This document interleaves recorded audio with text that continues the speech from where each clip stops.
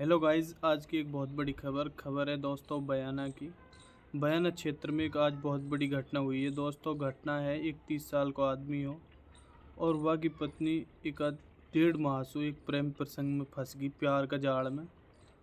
दोस्तों, वो प्रेम करकरीन जासु वाक संघ पुलिस ने गिरफ़्तार कर ली तो वह पूछी गई कि तू कहाँ जाना चाहे तो दोस्तों वह ने कही कि मैं अपने पति के पास जाना चाहूँ तो पति को दे दी। पति यह चीज़ से बहुत दिन सुना रहा चल रो कि यानी मेरे संग बेवफाई करी।